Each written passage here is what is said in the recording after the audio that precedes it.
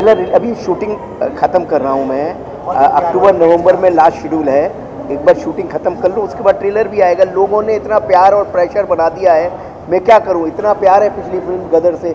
जो आप करते हैं, जो आप बोते हैं, उसका परिणाम आपको मिलता है। संसार का ये नियम है। गदर वन लोगों के लिए इतनी प्यारी रही और लोगों को इतना प्यार मिला गदर वन ने। इतना प्यार दिया कि गदर टू का मैं जानता हूँ। आप सबको बेसब्री से इंतज़ार है। जैसे ही मौका आएगा मुझे शूटिंग ख़त्म करने दीजिए। फ़िल्म भी आपकी है टेलर भी आपका है सब कुछ आपका ये बहुत जल्दी लेके आऊँगा फ़िल्म खत्म होने के बाद।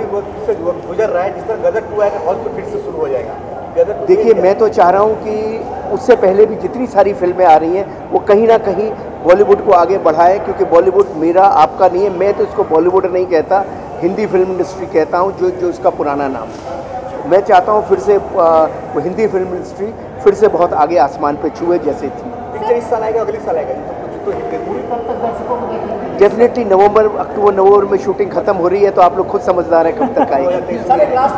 हाँ जी। इको फ्रेंडली गणपति का आपने दर्शन किया। क्या फील कर रहे हैं मैं बहुत आनंदित फील कर रहा हूँ उधर भी देख रहा हूँ बस वो इधर ही देख रहे हैं।